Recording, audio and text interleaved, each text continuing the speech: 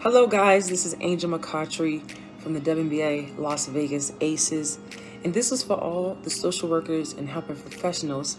I just want to um, share with you uh, some of my initiatives, um, definitely for the Anti-Racism Virtual Summit, focusing on advocacy.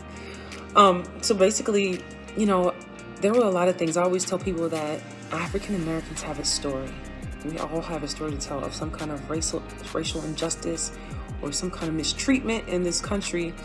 And my thing is, how do we get our um, youth to not have that story?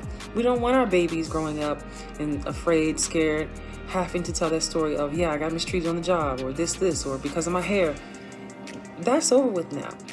And being an athlete, um, you know, we want to live on the legacies of, of Muhammad Ali and, and different athletes who fought so hard you for racial injustice and social inequality.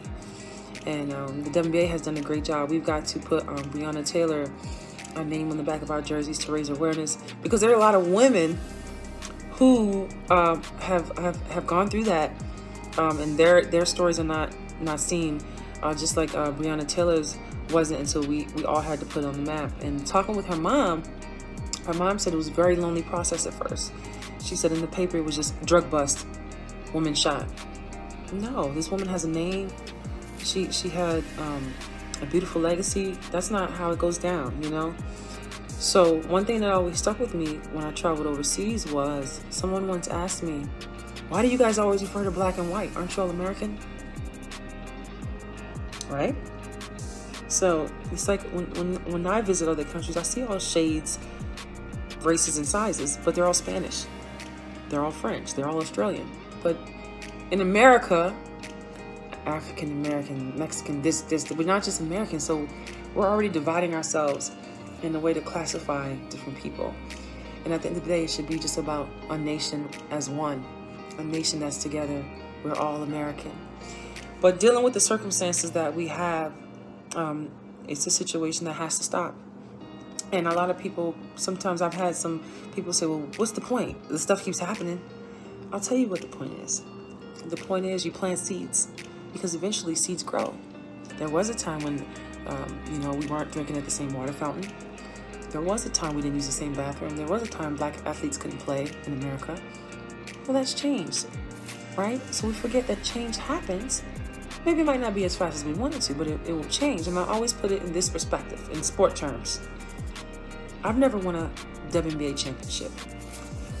Am I going to stop working hard because it hasn't changed that I want it yet? I've been in the league 11, 12 years. No, it hasn't changed.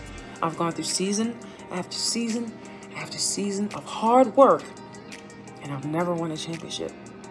But do I say to people, well, yeah, I'm not going to work hard in basketball anymore because nothing has changed. I haven't won that championship. No. I'm working hard for the next one. I keep working hard because I believe that one day it's going to change that I win a championship.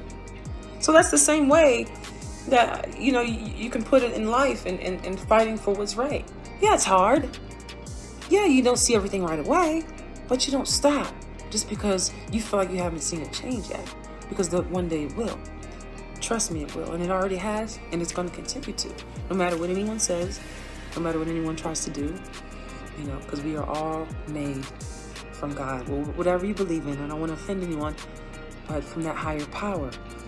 And um, any higher power, I feel like promotes peace. And the last thing I have to say, I don't want to talk you guys ear off. last thing I will say is this racism how, how awful is that, right?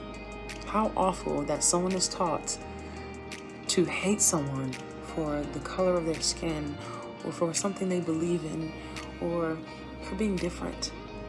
How boring of a world. I don't want to live in a world where everybody's the same. Do you? So why be racist?